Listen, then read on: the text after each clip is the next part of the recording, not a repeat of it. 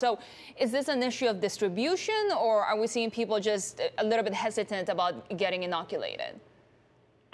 It's really both at this point. We are seeing people in every state who are hesitant. And of course, the distribution of the vaccine is going pretty evenly across states. So we're seeing around cities, for example, there's a lot of demand and it's very difficult to get appointments, even in cities that are doing mass vaccination events. But if you're willing to drive a few hours, you know, an hour, two, three outside of the city, you can generally get to rural towns where they have plenty of vaccine and not enough people who are signing up to get it.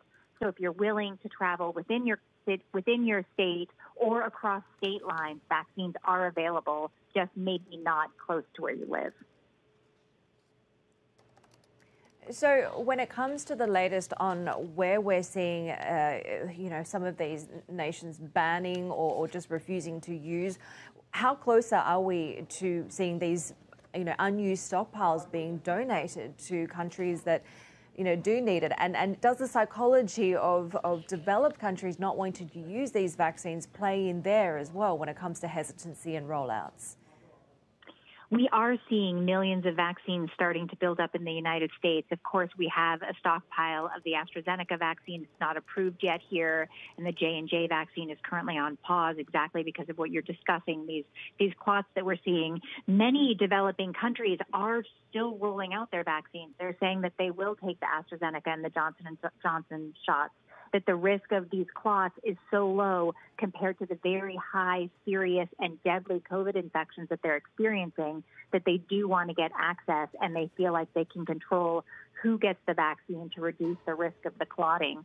As far as when the U.S. is going to start making those available to other people, or indeed even move them around within states or between states, it's unclear how that how we're going to get to that point. That's a supply chain issue. It's an organizational issue. And we haven't seen an awful lot of great movement when it comes to that particular space. When you think about it broadly, though, very soon we're going to have many, many more vaccines than we have people who want them. Hopefully, that means it'll trickle down and people in other areas will have access to these shots.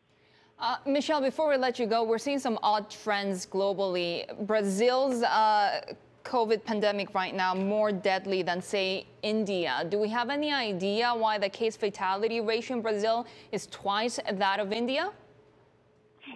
It is very unusual what is happening across different parts of the world when it comes to the COVID epidemic. And honestly, scientists don't know exactly what's going on here.